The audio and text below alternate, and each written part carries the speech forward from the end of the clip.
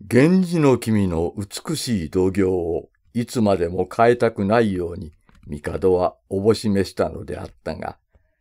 いよいよ十二の年に元服をおさせになることになった。その式の準備も何も、帝ご自身でお指図になった。前に東宮のご元服の式を死神殿で挙げられた時の派手やかさに落とさず、その日肝心たちが各階級別々に授かる共演の支度を蔵領、国葬院などでするのは、つまり公式の支度で、それでは十分でないとおぼしめして、特に仰せがあって、それらも華麗を極めたものにされた。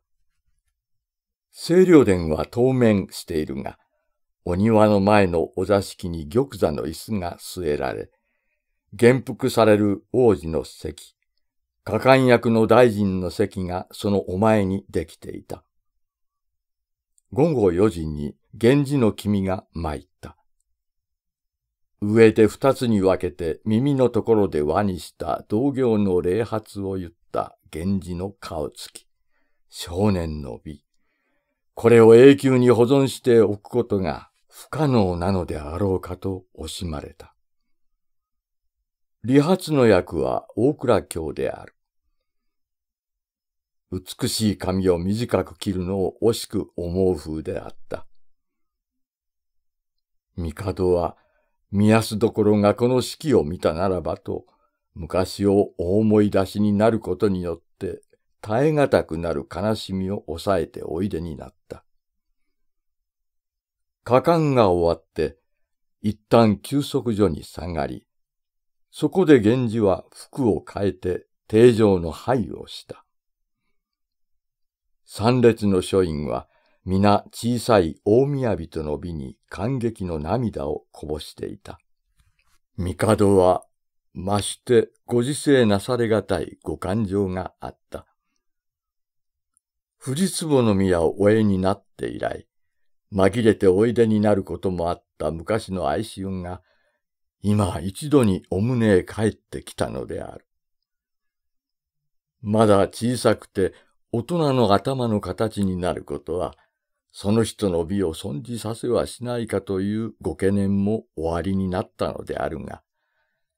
源氏の君には今驚かれるほどの震災が加わって見えた。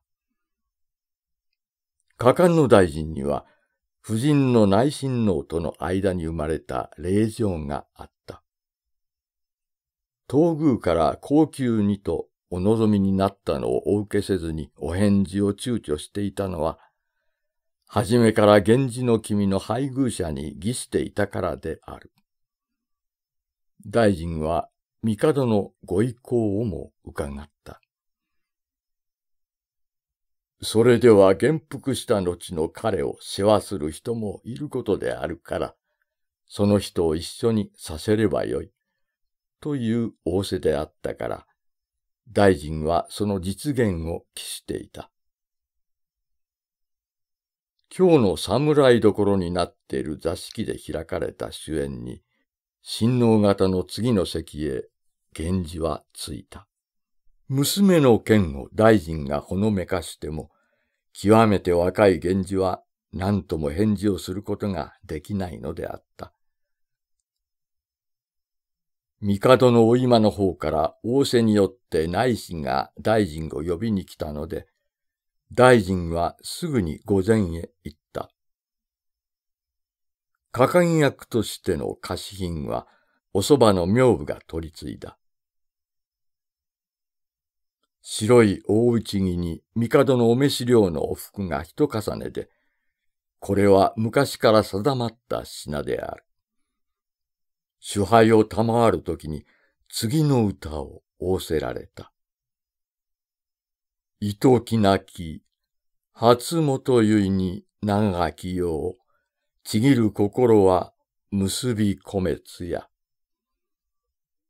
大臣の娘との結婚にまで追い及ぼしになった女性は、大臣を驚かした。結びつる、心も深き元結に、古希紫の色し汗ずば、と変化を相乗してから、大臣は清涼殿の正面の木座橋を下がって拝礼をした。様領の漁場とクロードどころの鷹をその時に賜った。その後で書院が改善に出て、関東に従ってそれぞれの貸品を得た。この日のご共演の席の折詰めのお料理。かご詰めの菓子などは皆右大弁がご命令によって作ったものであった。一般の管理に賜う弁当の数、一般に可視される絹を入れた箱の多かったことは、東宮のご元服の時以上であった。